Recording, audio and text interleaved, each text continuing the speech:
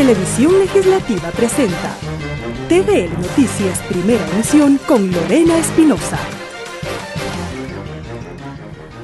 Miércoles 28 de marzo, ¿qué tal amigos? Muy buenos días, gracias por su sintonía a través del canal 42 en Quito y también en nuestro sitio web www.tvl.asambleanacional.gov.es. Revisamos de inmediato quién nos acompaña hoy en las entrevistas. Estará con nosotros Nubia Villasís, presidenta del Consejo Nacional Electoral. Con ella hablamos sobre el inicio del periodo electoral para las elecciones seccionales de 2019. También estará con nosotros Guillermo Abad, director de Justicia Vial. Con él hablamos sobre la seguridad vial y los accidentes de tránsito en el país.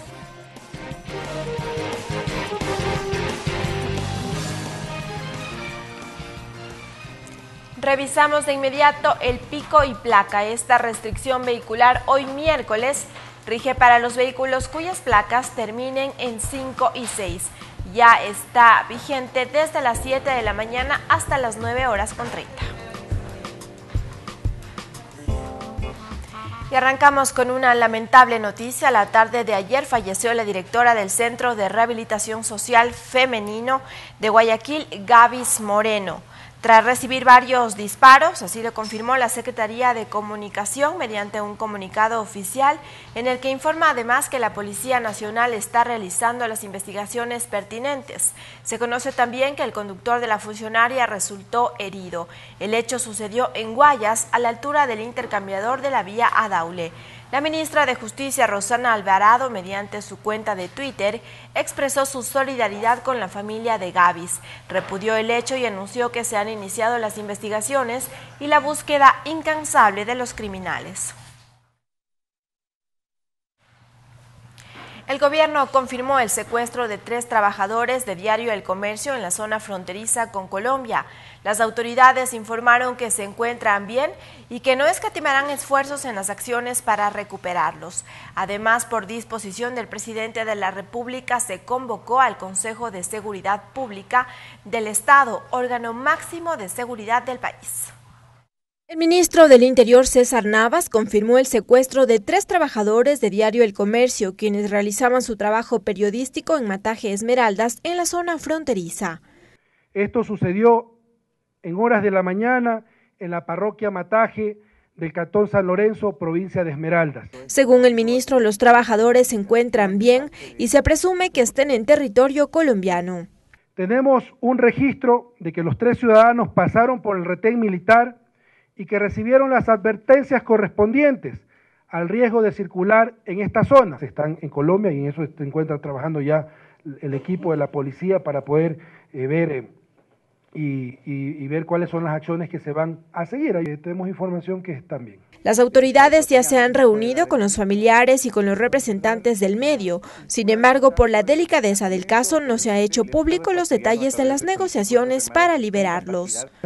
Ya ha existido un contacto, no podemos dar más detalles porque es un proceso propio de la investigación y de la operación que se está realizando y también para salvaguardar la integridad de nuestros conciudadanos. Tras el secuestro, el gobierno convocó al Consejo de Seguridad Pública del Estado, que es el máximo órgano de seguridad del país, y además se reforzaron aún más las medidas de seguridad en la zona. Disposición directa a las Fuerzas Armadas y a la Policía Nacional para la prohibición de la circulación de los ciudadanos que no habiten en las zonas cercanas al límite político internacional en el cantón San Lorenzo. Las autoridades manifestaron que no escatimarán en la ejecución de acciones que sean necesarios para dar con los trabajadores del diario.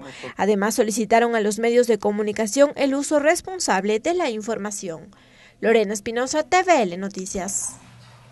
Mediante un comunicado oficial, la presidenta de la Asamblea Nacional, Elizabeth Cabeza, se solidarizó con las familias de los tres colaboradores del diario El Comercio secuestrados. Hubo también pronunciamientos de la Unión Nacional de Periodistas, así como de la Embajada de Estados Unidos en nuestro país. Tras enfatizar que el Estado ecuatoriano, a través de la fuerza pública, trabaja intensamente para garantizar la paz y la seguridad de la población en la zona de frontera, la presidenta de la Asamblea Nacional, Elizabeth Cabezas, mediante un comunicado de prensa se solidarizó con las familias de los tres colaboradores de Diario El Comercio secuestrados, así como con la planta de profesionales del medio. La titular del Parlamento expresó que todos los esfuerzos están encaminados para lograr que se supere este incidente. De otro lado, la Unión Nacional de Periodistas solicitó al Gobierno Nacional que con la urgencia del caso tome las medidas necesarias para precautelar la vida e integridad de los compañeros y para obtener su liberación. Demandó además a las instituciones del Estado relacionadas con la seguridad que brinden protección y establezcan protocolos de seguridad para el trabajo periodístico en zonas de riesgo. En los mismos términos se pronunció el Foro de Periodistas de Ecuador, que mediante un comunicado expresó que este secuestro no se trata de un caso que corresponda únicamente a un medio de comunicación. Por ello demanda del Estado y de sus instituciones garantías para la cobertura periodística y búsqueda de información en la zona de frontera sin caer en la autocensura. Mientras que la Embajada de Estados Unidos en Ecuador, a través de su cuenta en la red social Twitter, escribió nuestra solidaridad con el comercio y con las familias de los miembros de su equipo. Hacemos votos porque vuelvan sanos y salvos. Apoyamos al gobierno del Ecuador en sus esfuerzos para devolverlos a sus familias y restaurar la seguridad en la frontera.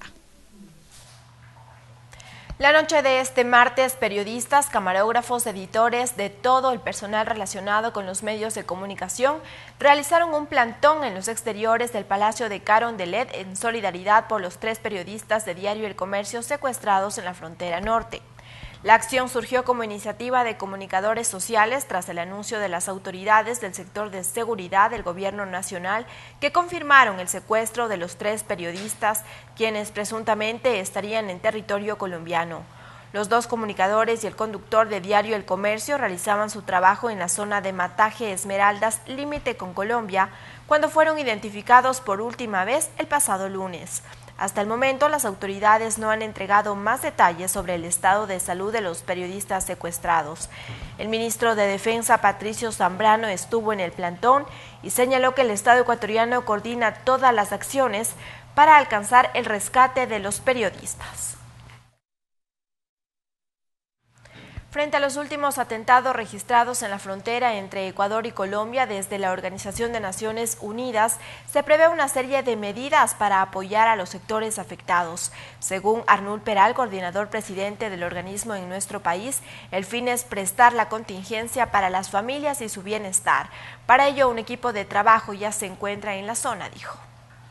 Es un tema que nos, que nos preocupa, todos los temas de, situación de frontera norte, eh, de seguridad, pero también de falta de oportunidades, el tema de temas, temas sociales, temas económicos, y estamos presentes como, como Naciones Unidas, hay varias agencias trabajando, el Programa Mundial de Alimentos, en temas de seguridad alimentaria, está el Programa de Naciones Unidas para el Desarrollo, en programas ambientales, desarrollo económico, está el, ACNUR, en temas de refugiados, y OIM en temas de movilidad humana, etcétera, etcétera. O sea, tenemos una, una presencia y queremos seguir apoyando eh, los esfuerzos de manera obviamente coordinada, articulada con las autoridades locales y con el gobierno nacional.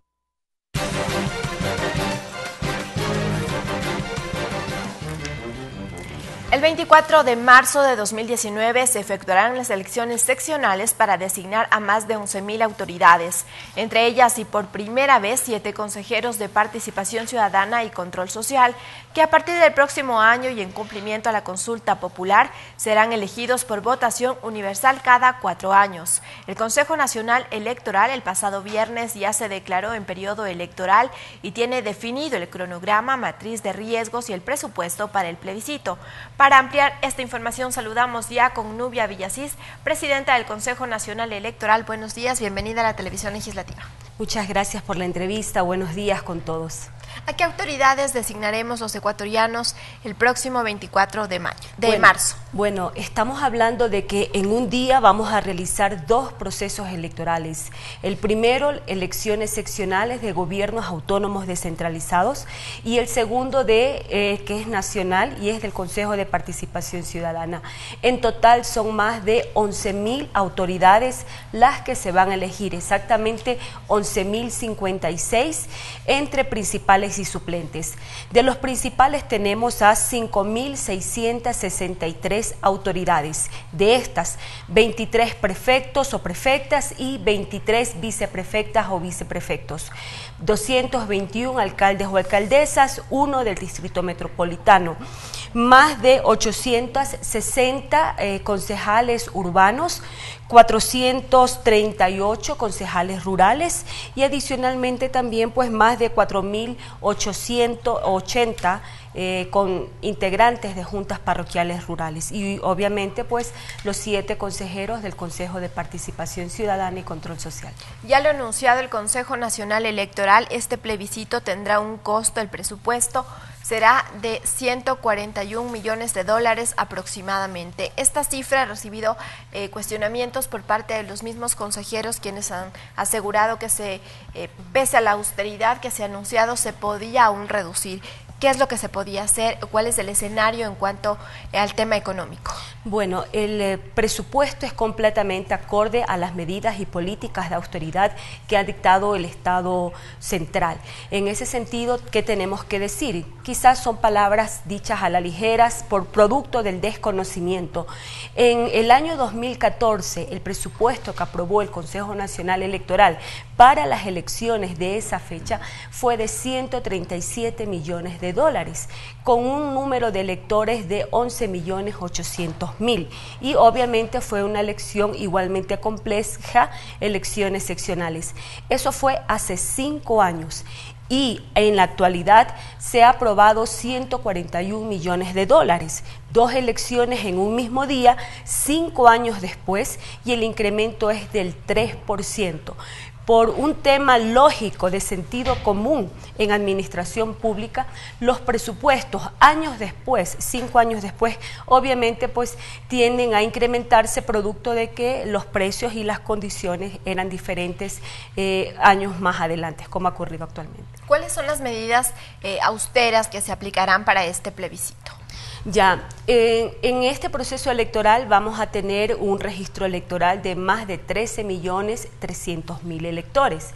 Esto significa que la logística de mesas de votación es muy grande, pero para poder nosotros optimizar el em, proceso electoral manteniendo la alta calidad que sea en forma técnica, se ha definido un padrón, los que los padrones contengan 350 electores, no 300 en donde en un proceso normal de este tipo de gran magnitud eh, es lo que habíamos venido trabajando. Al incrementar el número de electores a 350, aún a pesar de la complejidad, nos significan ahorros en el presupuesto por el tema de la logística, papelería, señalética, integrantes de juntas receptoras del voto, coordinadores de mesas, de recintos. vamos, receptoras vamos a tener 39 mil juntas receptoras del voto, 39 mil 814, pero esta es una proyección. Algo parecido a lo que sucedió en la consulta popular. Sí, ahí pusimos, por ejemplo, 400 electores por mesa, porque era un, un proceso fácil en el tema del escrutinio, solamente contar una papeleta. Actualmente vamos a tener cinco papeletas. Adicionalmente, eh, vamos a utilizar una sola urna, urna, no las dos que tradicionalmente teníamos en ese proceso, pero esta urna tiene características especiales. El material es más grueso, va a tener un metro de altura, un metro veinte por 80 de ancho. ¿Por qué una sola urna? Porque así nosotros vamos a evitar las inconsistencias numéricas. El ciudadano, al momento de ejercer su derecho al voto, en ocasiones se equivocaba de urna y la papeleta pluripersonal de concejales, por ejemplo, la depositaba en la urna de unipersonales, de alcaldes o prefectos. Y eso nos conllevaba al final del día, al momento de, la vota, de descontar los votos, de que eh, se registren inconsistencias numéricas, producto de que habían eh, en una urna votos eh, de más y en otra votos de menos, pero estaban era cruzadas. Y hasta que eso se detectaba, pasaban a veces cinco días, seis días, porque había que abrir todo el paquete para ver cuál era el motivo de la inconsistencia numérica que se registraba pues en esas mesas. Y así una serie de situaciones que van a definir pues estas elecciones 2019. Son de las más complejas este tipo de procesos electorales por el número de candidatos que eh, se van a registrar. Estamos hablando más de 35 mil candidaturas como son 5.600 autoridades principales, normalmente las candidaturas se pasan de 35.000, 40.000, que es lo que proyectamos. El número de documentos electorales, solo por ejemplo en documentos electorales estamos hablando más de 600, casi 700 millones de documentos electorales, porque estamos hablando actas de instalación, actas de escrutinio multiplicadas por tres, luego en los borradores que se les entregan a los mismos organizaciones políticas para su control electoral, este, mm, los certificados de votación, los borradores, el número, el volumen documental es muy grande. Ahora, por primera vez en estas elecciones seccionales se designarán, se elegirán a siete consejeros de participación ciudadana, esto luego de las reformas que fueron aprobadas en la Asamblea Nacional y en cumplimiento a la consulta popular. Y ahí también es incierto aún el número de candidatos y el tamaño de la papeleta de votación eh, según eh, los registros de candidatura que, que superen el los requisitos. Este es el modelo de papeleta que, como lo establece la propia ley del Consejo de Participación Ciudadana que fue reformada, tendrá tres listas, una de hombres, una de mujeres y una de pueblos y nacionalidades. Bueno, ah, efectivamente, nosotros basados en la normativa que recientemente aprobó la Asamblea Nacional, hemos confeccionado un borrador de papeleta posible eh, ahí las tres columnas que nos dice la ley, eh, una sola papeleta, las tres listas, mujeres, hombres y pueblos, nacionalidades, el tema de interculturalidad y también de nuestros migrantes. Esto simplemente es una proyección. Obviamente tenemos que esperar al momento en que las personas se inscriban, conforme dice la normativa, nosotros únicamente vamos a verificar requisitos, como fue decisión de los señores asambleístas, y luego de que se verifiquen esos requisitos, ahí sí pasarán a la papeleta. En la verificación de requisitos, ¿qué nos dice la ley recientemente aprobada? Que tienen que ser eh, ciudadanos pues que tengan eh, notaria probidad e idoneidad, tienen que tener títulos de tercer nivel, tienen que demostrar adicionalmente que han realizado eh, experiencias en torno a participación ciudadana, transparencia y control social, lucha contra la corrupción y eso lo acreditan con certificados. La ley habla de como mínimo tres certificados y obviamente pues todas las inhabilidades y prohibiciones también que nos eh, da la ley elector, la ley del Consejo de Participación Ciudadana y también las reformas que fueron recientemente dictadas. ¿Cómo será el proceso para candidatizarse? ¿Quiénes podrán postular? ¿Serán las organizaciones sociales? El Consejo Nacional ha dicho que existen más de 90 mil organizaciones eh, registradas. Sí. ¿Cómo se avisora el escenario entonces para la inscripción de las candidaturas? Bueno, em, la ley em, nos da, eh, da parámetros que hay que medir. Por un lado, pueden postularse ciudadanía, eh, los ciudadanos común y corriente, y otros auspiciados por organizaciones sociales. Organizaciones sociales en el país legalmente registradas, efectivamente hay más de 90 mil, pero ellos ahí pusieron un filtro adicional, que tienen que tener personas con, eh, con título de tercer nivel.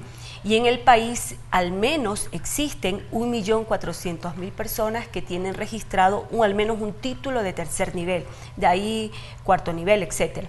Entonces eso ya nos está dando filtros. Otro filtro que dice la normativa es que pueden ser, tienen que ser ciudadanos que no tengan afiliación o adhesión política en los últimos cinco años. Ya no eh, haber sido simplemente directivos la ley antes de ser reformada, lo que tenía el filtro, el único filtro que tenía en ese punto era que tenían que haber sido directivos o representantes de las organizaciones políticas en los últimos dos cinco años. Y obviamente el número de directivos es reducido en comparación a las afiliaciones y adhesiones. Esos son los parámetros. Nosotros eh, estamos planificando eh, lo mejor posible, lo, en forma más técnica, para que ese proceso de inscripción se dé conforme a la normativa dictada por la Asamblea Nacional. Y ahí tenemos, no sé si podemos mostrar, ese sería un prototipo de la papeleta que se pueda registrar. Eh, no se sabe aún si ese sería el tamaño según la cantidad de candidatos. Este, esta papeleta puede ser un poco más ancha para que las fotografías se visualicen más. Tiene cada fila tiene 25 eh, inscripciones de ciudadanos está así, puede ser más larga, puede ser un poco más ancha para dar opción a la fotografía. Ahora, aquí también a nosotros se nos presenta otro, otro tema.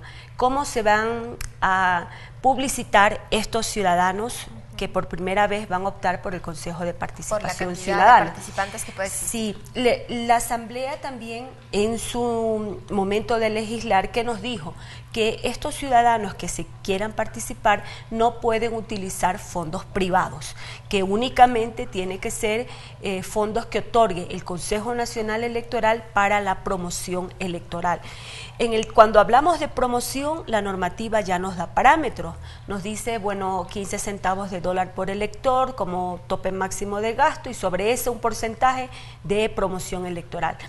Pero nosotros en, en la operatividad dejamos un rubro asignado para publicidad del Consejo de Participación Ciudadana. ¿Por qué se dejó ese rubro?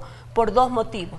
Por un lado, para enseñarle al ciudadano cómo debe votar en esta papeleta, porque normalmente cuando es elección pluripersonal, por ejemplo, concejales, están cuatro candidatos, que son cuatro o seis candidatos multiplicados al, horizontal por el número de organizaciones políticas, sean 10 o 15 organizaciones que participan. En este caso es lo contrario. Tiene solamente tres listas por el número indefinido de ciudadanos que quieran participar.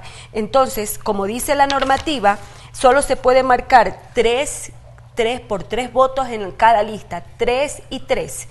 Si dentro de estos seis mejores eh, votados no existe una persona de interculturalidad, pueblos y nacionalidades, entonces sí se escogería al mejor votado de esta columna. ¿Ya? Entonces, el ciudadano cuando vaya a rayar tiene que rayar solo tres. Si raya cuatro, anula el voto en este. Si raya dos, obviamente es voto válido. Si no raya por nadie, lo deja en blanco. Pero esa explicación requiere ser interiorizada por el ciudadano porque de pronto el elector piensa que puede marcar los siete hacia abajo y está anulando el voto. De ahí que se requiere una buena comunicación a la ciudadanía para que sepan bien cómo deben elegir. Adicionalmente, cómo se van a promocionar estas personas. Por ejemplo, Nubia Villasís, en el sorteo le toca estar en el puesto 25, que es el último. Entonces, el, el, el fondo de promoción quizás sea pequeño. Entonces, nosotros estamos tratando de idear un modo para que todo ciudadano que participe en, esa, en, este, en estas elecciones en el CPCC pueda tener una verdadera opción de ser promisionado en igualdad de condiciones. Porque serán ubicados en orden alfabético. no, por sorteo. Entonces, ¿qué tenemos? Que en el sorteo me sale el puesto 24. Hasta que el ciudadano sepa, yo soy Nubia Villasís, estoy para consejos de participación ciudadana, soy, tengo este título profesional el momento en que el elector dice, ¿y dónde está Nubia Sí, Comienza, la busca, la busca. Capaz que llega al 24 y ya está, se cansó de buscar. Entonces, la estrategia que estamos, lo, lo, más óptimo sería que sea la promoción por números. O sea, soy Nubia Villasís, estoy en el puesto 25, o estoy en el puesto 5, o estoy en el puesto 1, porque eh, esto es un tema también de oportunidades. No necesariamente los que estén en la primera fila es lo que, eh, o sea, queremos que todos tengan igualdad de oportunidades, eh, verdaderas igualdad de oportunidades en, el momento de poder eh, pedirle al ciudadano que los elijan. Estas personas no son políticos, no van a ser políticos, son ciudadanos comunes y corrientes que posiblemente sean académicos, que mm, tengan un perfil no necesariamente muy carismático o atractivo para el elector en el tema de facilidad de palabras. Son ciudadanos que tienen un perfil, una trayectoria, una hoja de vida. Entonces, hay que ver un mecanismo para que ellos se den a conocer verdaderamente y tengan oportunidades. Bien, muchísimas gracias. Seguiremos hablando con este tema. Muchísimas gracias a Nubia Villasís, presidenta del Consejo Nacional Electoral. Nos vamos a una pausa y enseguida continuamos con más noticias.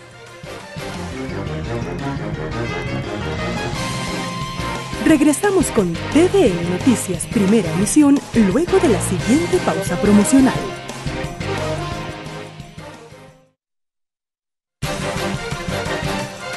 Continuamos con TVN Noticias Primera Emisión. Gracias por seguir con nosotros con el anuncio del presidente de la República de generar mayor control al transporte inter e intraprovincial. Las autoridades del Ministerio de Transporte y Obras Públicas emprendieron acciones inmediatas. El ministro Paul Granda mantuvo una reunión con los representantes de 422 operadoras a nivel nacional pertenecientes a 12.000 unidades de transporte. Allí se concretaron varios compromisos tales como la acreditación del servicio de transporte, el uso de medios tecnológicos para el control de las unidades, mecanismos de denuncias ciudadanas. Además, como parte del plan de seguridad vial, se crearán unidades de servidores públicos encubiertos. Este personal se encargará de denunciar y detener en caso de delito fragante. Esta reunión eh, generó algunos compromisos eh, además una aceptación total de parte de la clase del transporte a las medidas que hemos hecho ya públicas y hemos eh, hecho los anuncios que corresponden. Eh, obviamente arranca el proceso de acreditación de los conductores del Servicio Público de Transporte intra e interprovincial.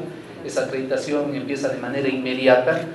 vamos a ser, como no puede ser de otra forma, absolutamente rigurosos en ese proceso de acreditación y quien no califique, quien no tenga las condiciones conducir un vehículo, pues efectivamente no podrá hacerlo. Yo creo que este mecanismo de acreditación, de evaluación permanente, lo vamos a mantener no solo en este momento, no solo en esta coyuntura, sino lo vamos a hacer, insisto, en el transcurso de los próximos meses y años. Asimismo, como ustedes saben, se anunció el establecimiento de un control a través de tecnología. que vamos a controlar? La velocidad, vamos a controlar la conducción temeraria, 46 mil agentes policiales serán distribuidos en todo el país para este feriado de Semana Santa. Las autoridades de control emprenderán un plan operativo de seguridad similar al feriado de Carnaval. Desde este viernes arranca el plan operativo de seguridad por el feriado de Semana Santa, según informó el ministro de Transporte y Obras Públicas, Paul Granda. Se realizará controles exhaustivos en las unidades de transporte público, así como operativos en las carreteras del país.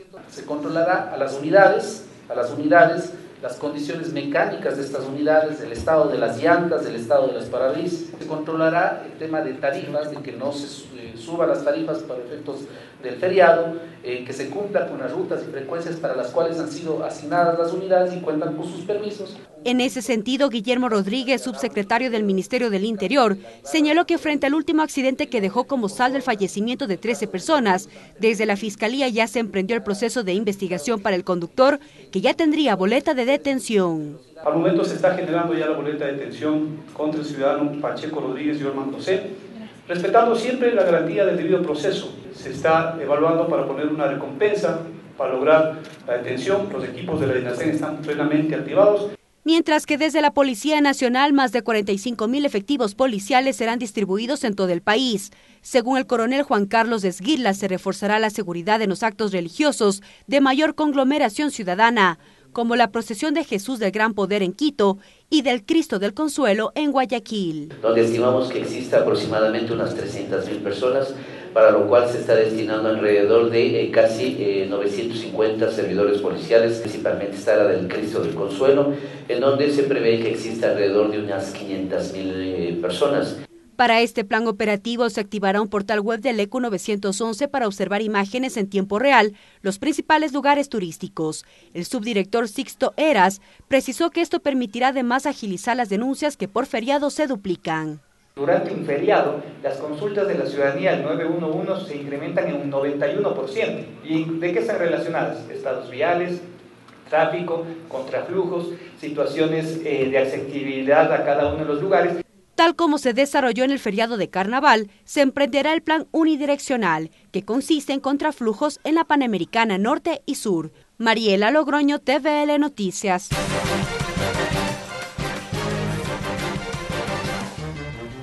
Según la Agencia Nacional de Tránsito, en enero y febrero de 2018 se registraron 4.035 accidentes de tránsito a escala nacional, Producto de ello fallecieron 347 personas. Las estadísticas oficiales revelan que las causas que provocan los accidentes de tránsito responden a conducir distraído y sobrepasar los límites de velocidad establecidos qué es lo que hace falta para reducir o terminar con estas cifras, cuáles son las acciones que se deben tomar, es lo que hablamos con Guillermo Abad, director de Justicia Vial. Bienvenido a la Televisión Legislativa, buenos días. Buenos días, gracias por la entrevista, siempre a las órdenes.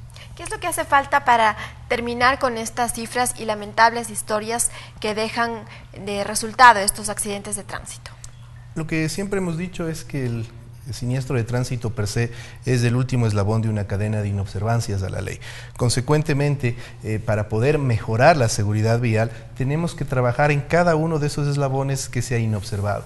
Y, para esto la autoridad tiene que tomar eh, el toro por los cuernos eh, y, ejecutar y hacer cumplir la normativa como está establecida desde hace 10 años atrás. Pero lastimosamente esta, esta normativa se ha incumplido en cerca de un 50%, inclusive un poco más me atrevería, me atrevería a decir, y esto conlleva a la, a la configuración de los siniestros de tránsito que se dan día a día.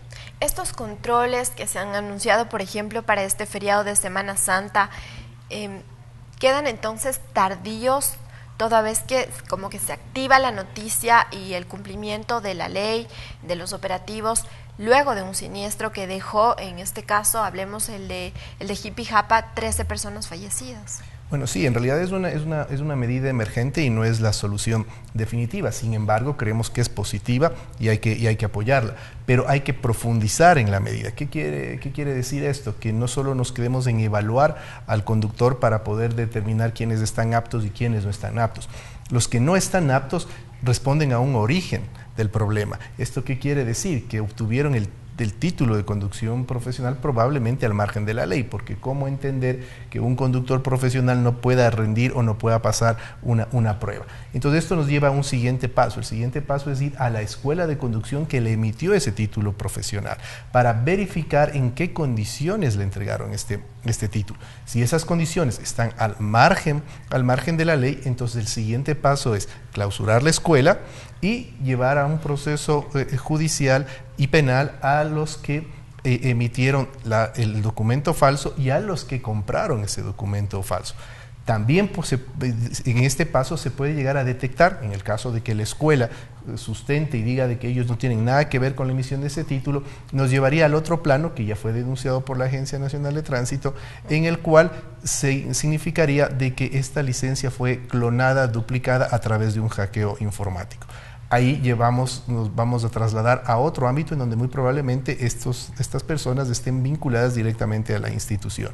Y ahí este, también eh, se tomarían las acciones legales pertinentes, pero también el que compró el título tendría, o, el, o la licencia clonada también tendría que ser sancionado. Es decir, en ambos casos, el que compró la licencia estaría, eh, debería ser, ser penado por la, por la ley ese acto que ha cometido. Estos, estas irregularidades que usted nos comenta y también em, toda esta evasión de procedimientos, eh, de la ley en sí, responde a un problema cultural entonces de fondo al no asumir esta responsabilidad, esa, ese, ese deber y esa responsabilidad tan grande que lleva un conductor al llevar vidas consigo. Sí, eh, por supuesto. El, problema de, de, la siniestralidad vial en nuestro país es, multicausal. Eh, hay varias aristas que se tienen que ir trabajando, pero principalmente, reitero, si es que nosotros vamos observando eh, la cadena de, que, de, que, de incumplimiento que se ha dado para en temas de ley y corregir esa cadena, haríamos un gran, un gran trabajo. Vale también indicar que las autoridades eh, actuales están recibiendo eh, una, una institución que ha sido vulnerada durante 10 años por la inobservancia de la ley. Es decir, eh, de un día para el otro o en un, en un periodo tan corto, revertir 10 años de inobservancia, revertir 10 años de incumplimiento no es cosa fácil. Esto tampoco quiere decir que no tengamos que, que hacer nada o que no tengan que hacer nada. Para esto justamente se ha firmado un pacto nacional por la seguridad vial donde implica a toda la sociedad, no es una implicación de toda la, la sociedad en beneficio de la seguridad vial. Sin embargo, este pacto tiene que estar enmarcado dentro del ordenamiento jurídico. Y si hay actores que no cumplen con el ordenamiento jurídico no podrían estar dentro de un pacto o no estarían debidamente acreditados, moralmente acreditados para estar en un pacto que tiene como objetivo salvar vidas. Entonces, la autoridad tiene que profundizar en estas medidas, en estas medidas emergentes, eh, como por ejemplo también en el tema de transporte público, ya se ha anunciado la reversión de las rutas y frecuencias a través y entregarlas nuevamente a través de un plan nacional de, rutas y frecuencias que fue eh, eh, propuesto por la ley hace 10 años atrás y que no se ha cumplido. Luego se les dio una prórroga, luego otra prórroga y a la final terminó en incumplimiento. ¿Por qué es tan importante en el tema de transporte público esta reversión y este Plan Nacional de Rutas y Frecuencias? Porque para el 2006, cuando se propuso la reforma, la reforma y creación de la nueva Ley de Transporte Terrestre, Tránsito y Seguridad Vial, se logró determinar un 200% de exceso en las principales rutas del país, un exceso de buses en las principales rutas del país.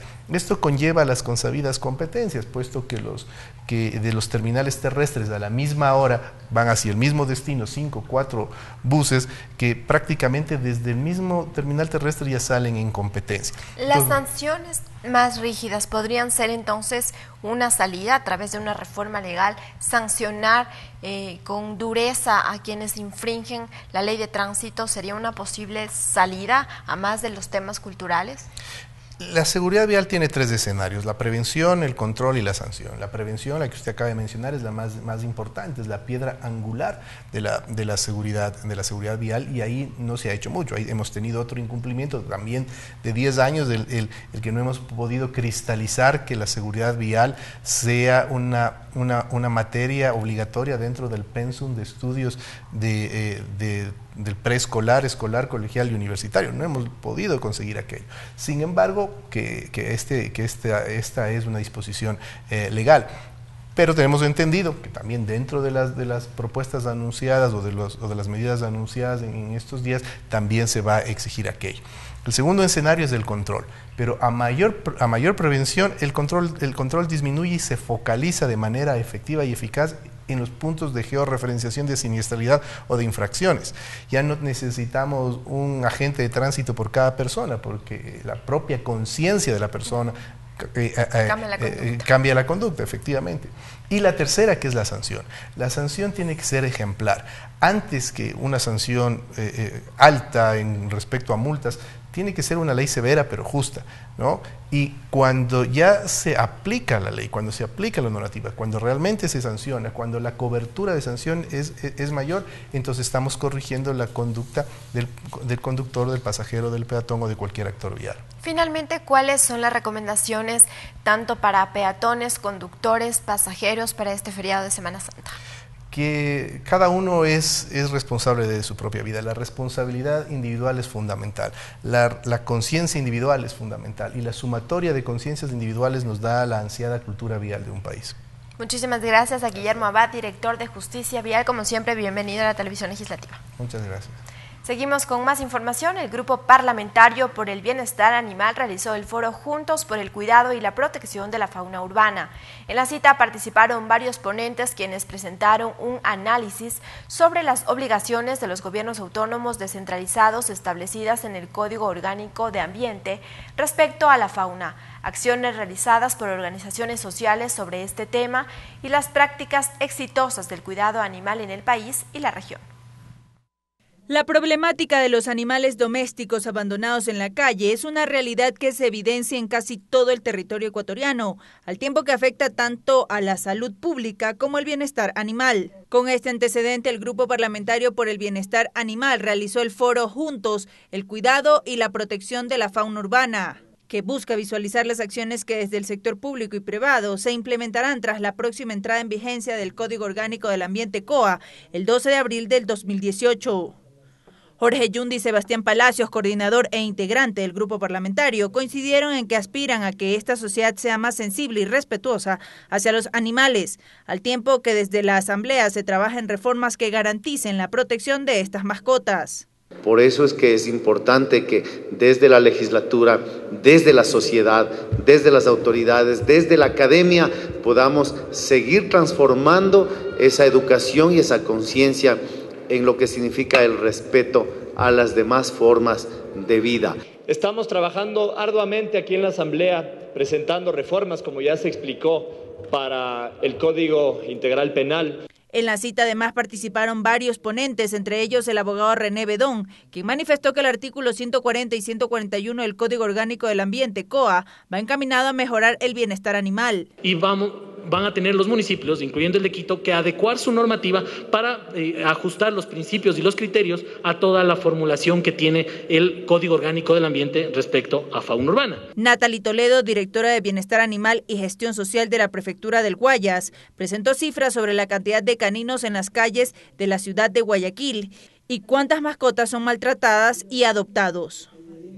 Dice allí 25 mil perros vagabundos. No se confundan, que no es lo mismo abandonados que vagabundos. Una de cada cuatro personas maltrata a un animal. Solo tres de cada diez personas adopta un animal.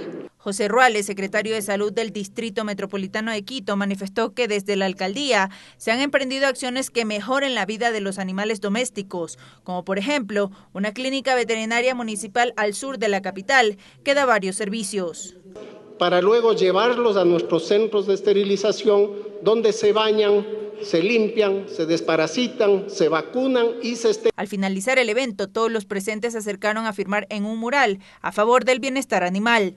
Mar Fernanda Medina, TVL Noticias. Y con esta información concluimos esta emisión. Amigos, nos vamos, pero antes los dejamos con el tip del día.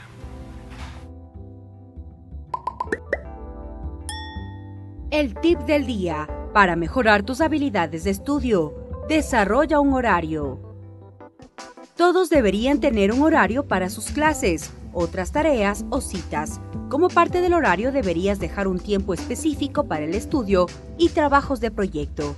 De este modo, no estarás terminando el proyecto en el último minuto o estudiando la noche antes de un examen importante.